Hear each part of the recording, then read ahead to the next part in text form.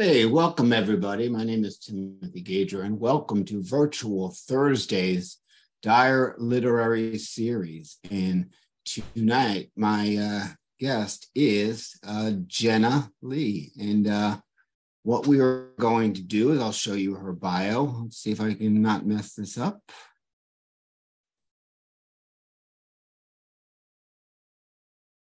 So it's already starting out great. Yeah, I'm, I'm the technology wizard of Dedham, Massachusetts. All right, there it is.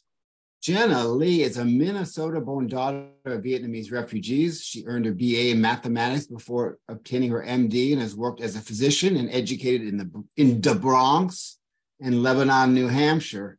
Six, Six Rivers, uh, New York Quarterly Books. Her first full length poetry collection was a small press distribution poetry bestseller. Her second full length collection, A History of the Cetacean?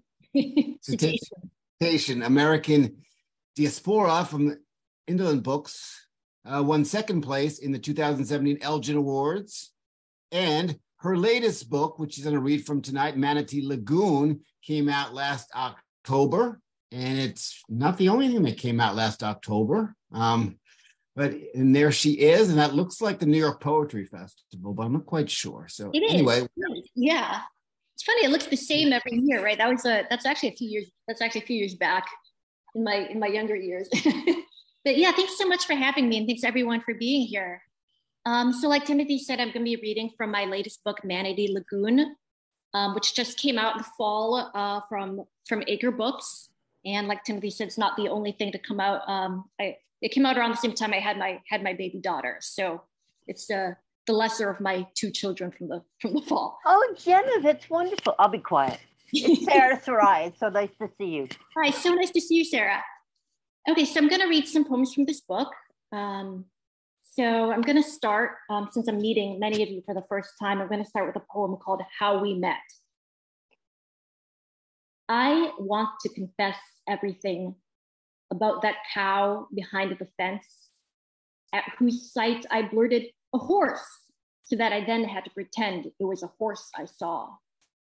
What fibs we tell to gloss over the fact God's fly is always down. I looked the other way to spare him unease. That's how I met your blue eyes across the cocktail lounge.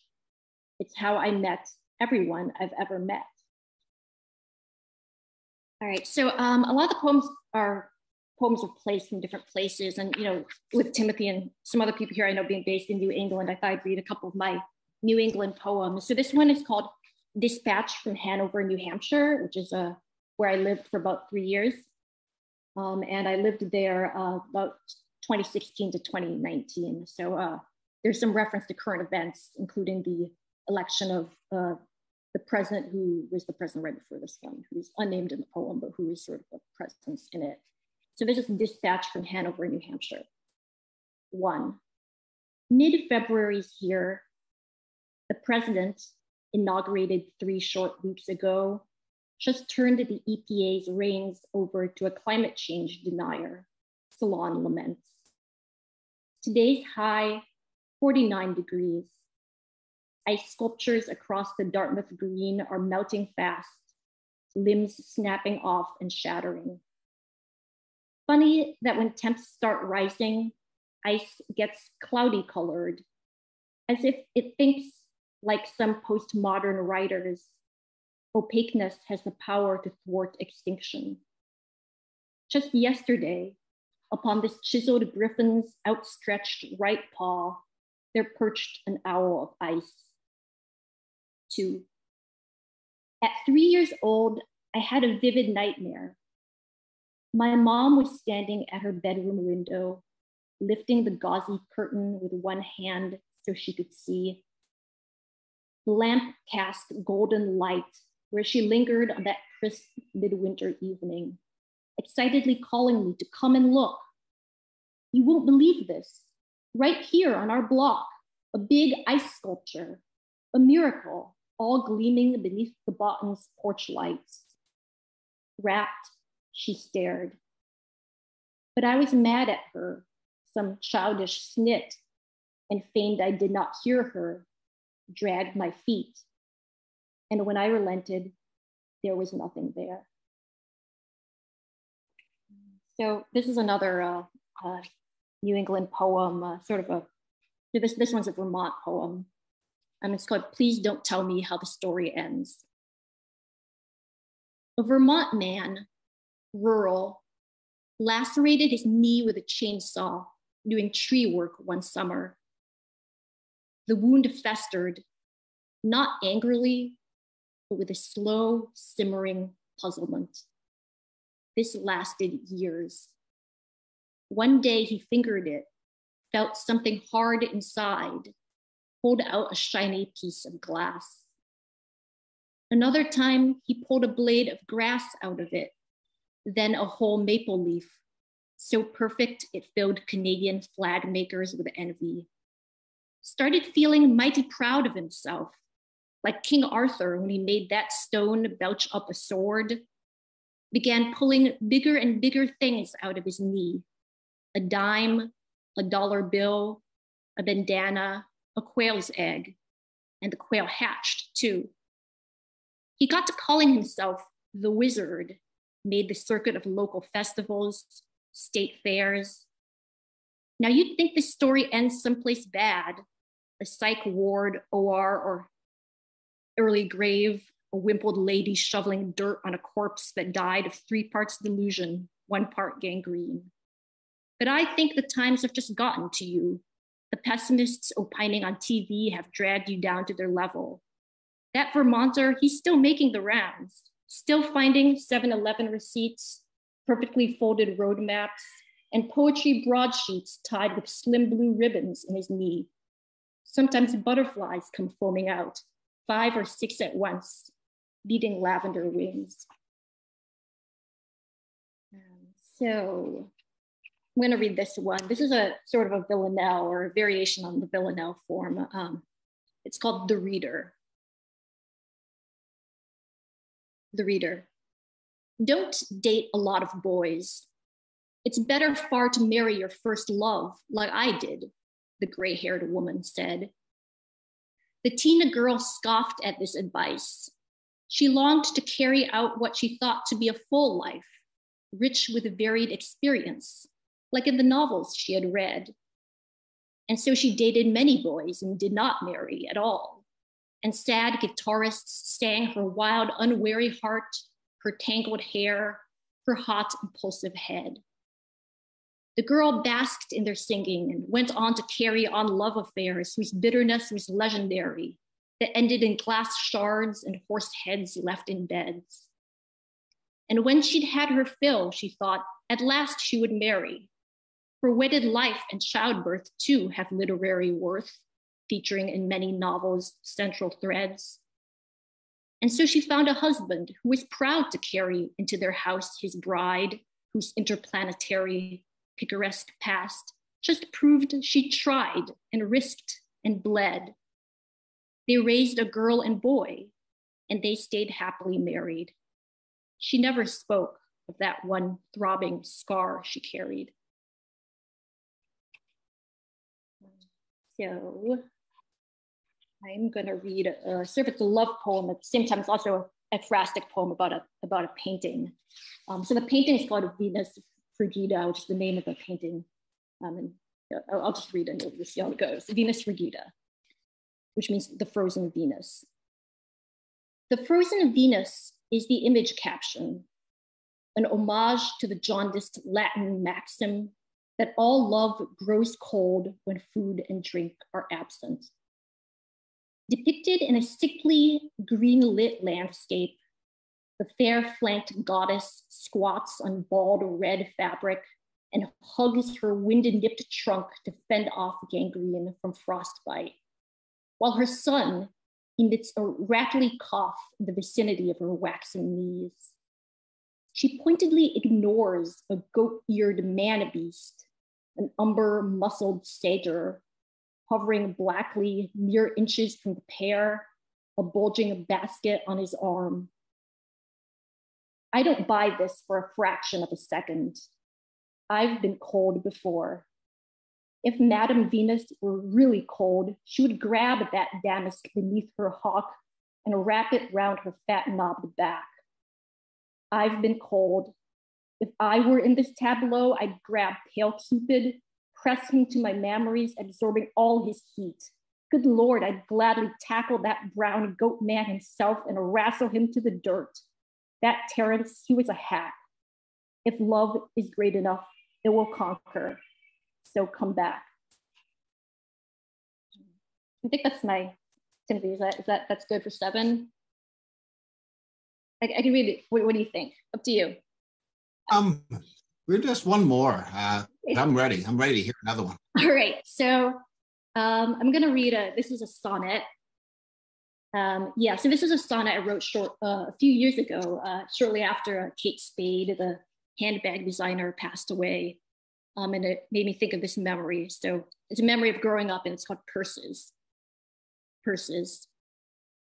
When our Quiz Bowl team of 18 year olds snagged a berth of the finals held in New York City, my small town Minnesotan brain cells dizzied.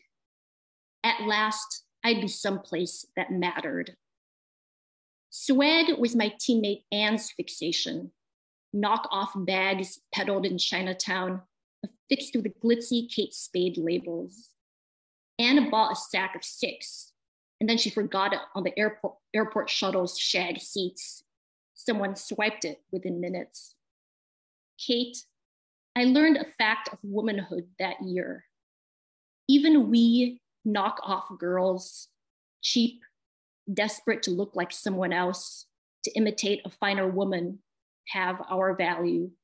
We're wanted, wanted until we disappear. Thanks.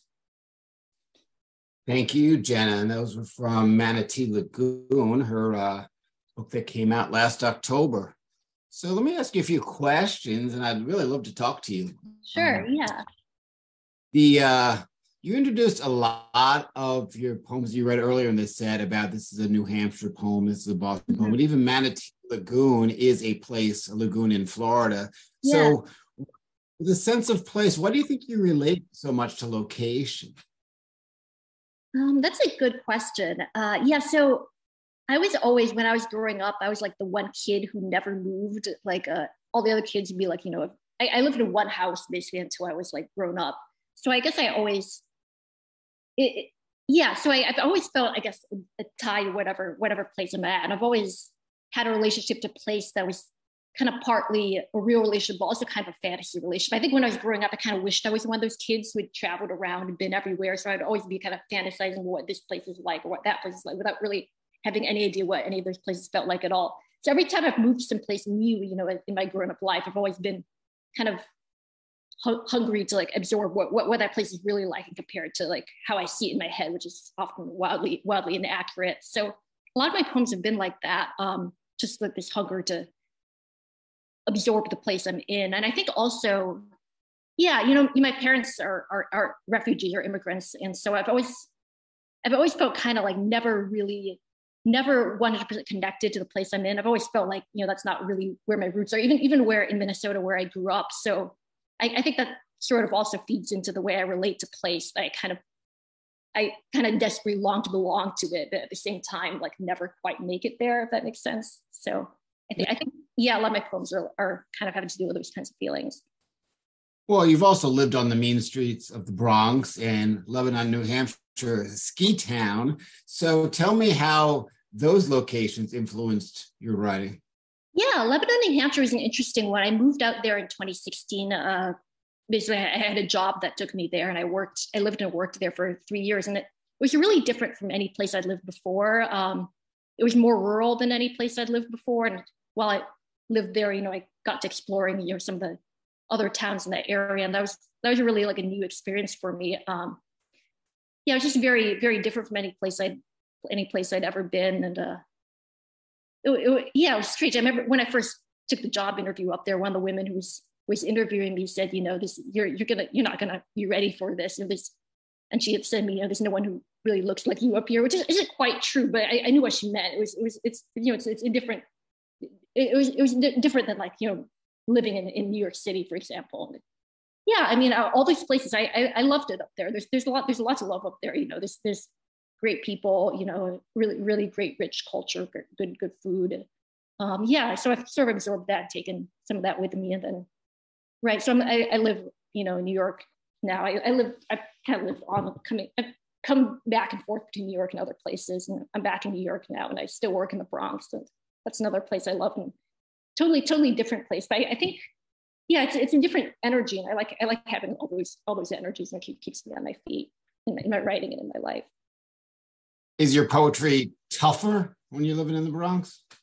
That's an interesting question. I, yeah, I feel like, I mean, it's more fast paced, right? I, I do feel like I, I, don't really, I didn't really think about it at the time. I guess some of my New Hampshire poems are maybe kind of more leisurely and paced than, than some of the, some of the, some of the poems in the city kind of take up that that, that city rhythm, right? So yeah. So uh Dick, poet Dick Westheimer asks you a question. Uh, you have some lovely, surreal, mythic images. Does this tendency have any roots in your parents' experiences and stories? Yeah, yeah, that's a that's a great question. Um, yeah, but I've always loved uh, yeah myths and stories. You know, yeah, my parents and I have a yeah I haven't it, there's an interesting sort of triangulation between me and parents, my parents and, and stories, I guess. Um, yeah, like uh, they, they, would always tell me stories growing up, and then also we always had had books in the house, like from from a very young age. I remember when I was very little, my my mom would you know would you know have me read a book and then like tell her what it was about, and like I remember once I think when I was very little, I was reading like Harold and the Purple Crayon. She's like, well, what's the storyline? I'm like, well, there's isn't really you know like plots like that. That's ridiculous. All stories need to have plots and I remember that, that was like an early, an early moment of friction between my, me and my mom, how, we, how we understood stories. Um, I've always, yeah, I guess I've always been drawn to these kinds of like fantastical stories, whether they be coming from folklore, whether they be coming from literature or somewhere else. Um, and yeah, I think some of some of my stories come from, you know, you know, kind of folk stories my parents told me. Um,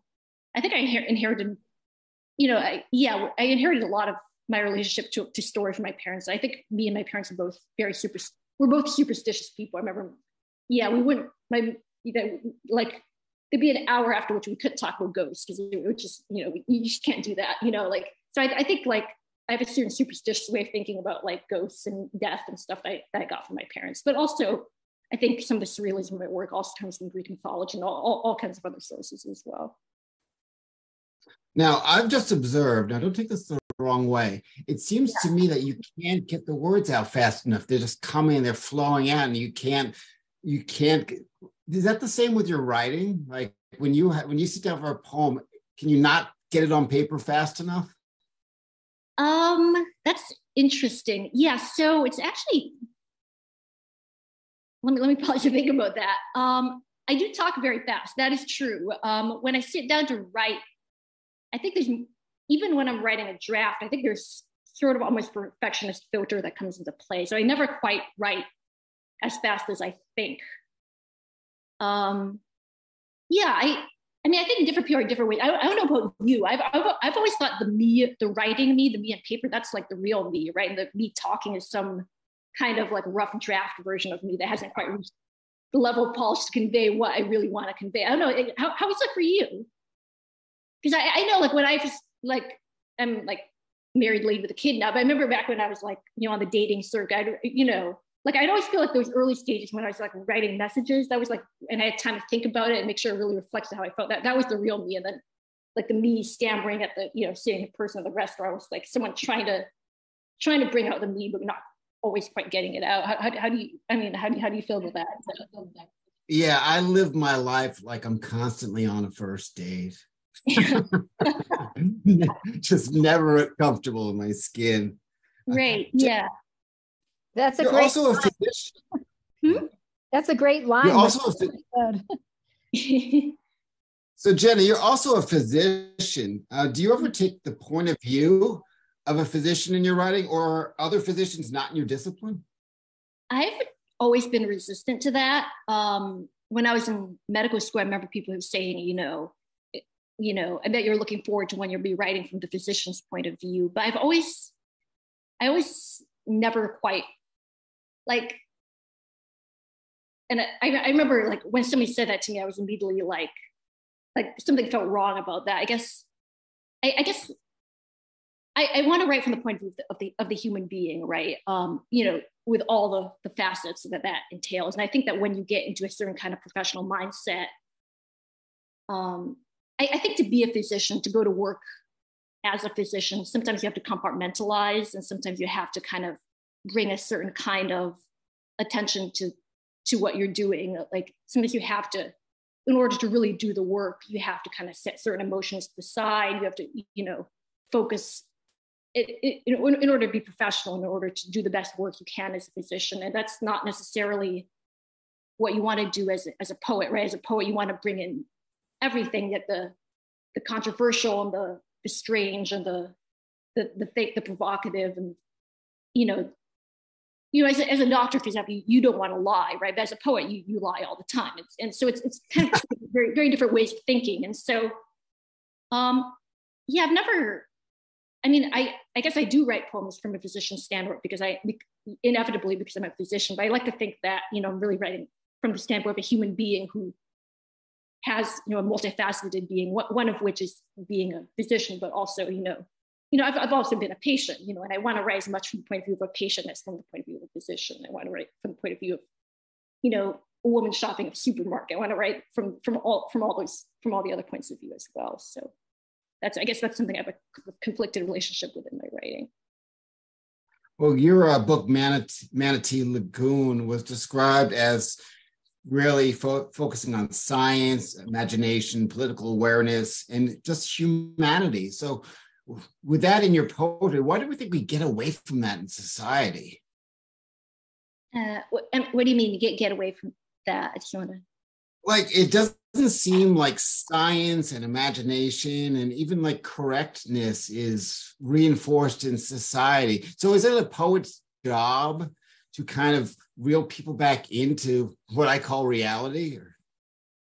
Yeah, I guess I guess it depends on what you mean by reality, right? Like like I I'm a, a fervent believer that poets lie and ha- often have to lie, right? I mean, we have to bring the fictional, we have to bring in the imagination. Like what what we do as poets is very different than what a journalist does writing an article, right? Like uh you know, we we want to make the best poem, and if that means saying the wall was purple when the wall was in fact white, you know, we we it's I, so when, if I guess it depends on what you mean by reality. Like I think, like the the poet has a loyalty to truth, but that kind of truth isn't the same kind of truth as you know what the journalist deals with with the facts, right? It's also like the imaginative truth, the, the emotional truth, you know, the truth of the dream world. So, um, yeah, I mean that that's that's kind of what I mean. It's I don't want to prescribe what poets do, but but to me, I, I yeah, I, I think the, the job of the poet is to to be to have fidelity to to poetic truth, um, which is going to in some ways reflect you know the the reality that we see with our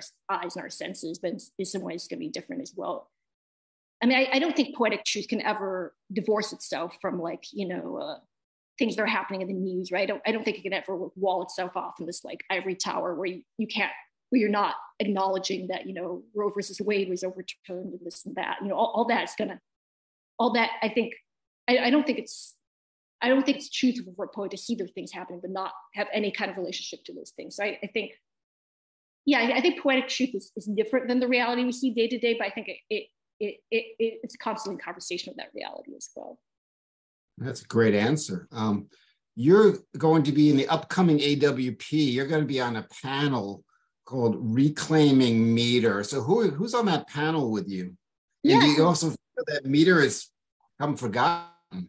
Yeah, I'm, I'm excited, but so the panel is actually pre-recorded, but uh, it's, it's a virtual panel. But I, I, had a great time doing it. It's with uh, some of my very, very favorite poets. So uh, Anna Lena Phillips Bell, who's an amazing poet, um, who wrote the, the book Ornament that came out a couple years ago, is on the panel, and Chad Abushanab um, is on the panel. He's an amazing poet. Um, uh, Alexis Sears, who I love, uh, was going to be on the panel, but then couldn't make it to, to our uh, recording. But another another amazing poet. Um, all poets uh, who you know write using meter in their work but um, i guess yeah so we're, we're all poets who feel very fervently that you know meter is something to bring to poetry that's not something that's old fashioned or that's you know that's something that's outdated that you know it's something that can breathe new life into, into contemporary poetry and is you know a useful tool for you know writing poems about contemporary life from, from a contemporary standpoint. So we talk about that. We talk about, you know, works in, in the panel, we talk about uh, works of poetry we love that use meter. And, you know, meter isn't just you know the iambic pentameter that we you see in like you know sonnets. You know, it's you know it's all, all kinds of things. There's sapphic meters, anapestic meters, all, all kinds of exciting things. So we're we're all people who get weirdly uh, excited talking about meter. So that, that's what the panel is about. It's a big geek love fest. yeah, yeah. So, um, do you also you've edited? You're you're you're an editor on the MacGuffin Journal of Medical Humanities. So let me ask you this: Which do you feel more like yourself when you're editing a book of poetry, or when you're editing the MacGuffin?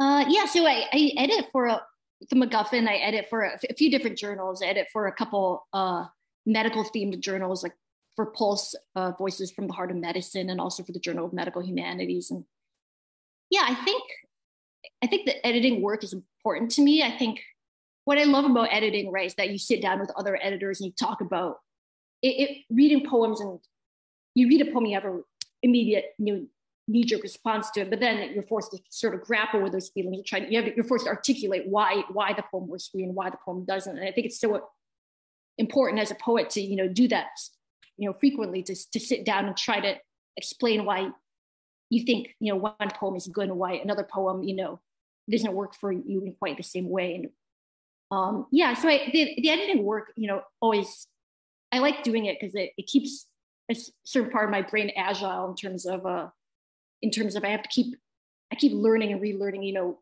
what what what i value most in poetry the, what what makes a poem great in my mind you know and I, I think all those lessons I learned from editing about, you know, you know, what, what, what kind of strategies work in a poem, what kind of strategies don't. I mean, I, I, I am taking that back to my poet, to, to my poet self, to my writing self. So yeah, the, the editing work is important to me. In the, in the end, I always feel like the writer self is like the real me. I've, I've always felt that, you know, like the me, like the me, you, see me in the street, that that's, that's one version of me, but I think the me that comes on paper, in my poems is always going to be like the, the, the real version of myself. I've always felt that way. All right. So um, you're stranded on a deserted island. You're also a very fine writer and painter. So you're stranded on a deserted island and you have this choice. And I just, I just love these, I call them bullshit questions. It will never happen. You have this choice that you can either write poetry for the rest of your life or paint or draw the rest of your life. Which one are you going to pick? Um, that is really hard. Um, yeah, so I love visual art. I love drawing and I love painting. Um, I don't think I'm particularly good at it. um, yeah, when part of the reason I think I was first drawn to becoming a poet, I think is like I when when I was a kid, uh, like I I think I mentioned, I grew up in a house where there's a lot of superstition and there's a lot of I was constantly afraid of like I would be hit by a truck the next day. I was constantly afraid that in the night the house would burn down and we'd lose everything. I, am not sure, you know, I probably would benefit from some sort of psychoanalysis to explain why that's so. But part of the reason I became a poet is because poetry lasts. You know, even if your house burns down, you know, you can you have your if you have all your poems on a floppy disk, you know, they're they're all there. You know, they're they're they, they're preserved in a way that you can never burn a poem down. It's always you can never burn them. It's like the Russian writer. So you can eat manuscripts don't burn, right? So yeah so that, that's part of why i've always been drawn to poetry first and foremost right? You can't you can't you can't burn a manuscript. You it's, it's always going to last. If you're on a desert island you know and you put your poems you're, you're in a bottle you know someone's going to find them but you know if there's like a typhoon it's you know all your all your paintings all your easels are gone. So i think i'd pick poems. Yeah. Didn't used to be that way. I think there's a famous story about the wife of a writer who just, you know, back in the old days, they got into a fight and she just threw the whole manuscript out the window. And I'm trying right. to remember who that was. But right, right. Now now we have the cloud, right? So it's so, you know, it's it's always it's there. Even if you don't want it to still exist, it will always exist and you know, bits and bytes. Dick Dick Westheimer is saying my is uh, pointing out my floppy disk reference. Yeah, no, no. I, I, I was obsessed with my floppy disks as a child. I thought I would carry them with me until I was like 100 years old. Now, of course, like they're they're useless. But yeah.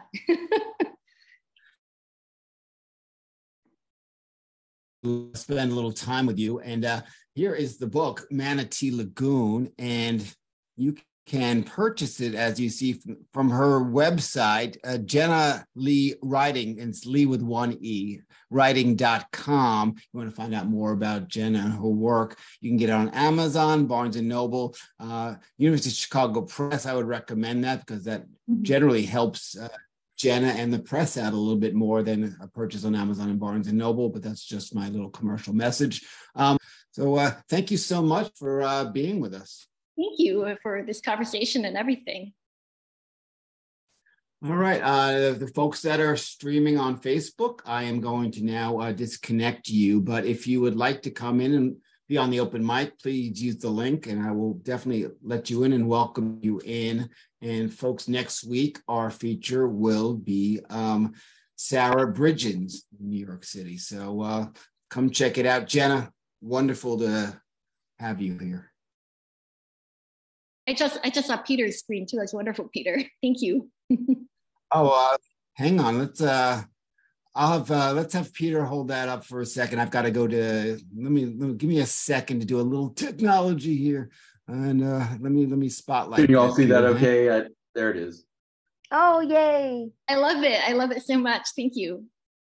Well, thank you very that much. That is wonderful, Peter. Thank you for that drawing, and uh, and my hat looks like a comb over, so I like that.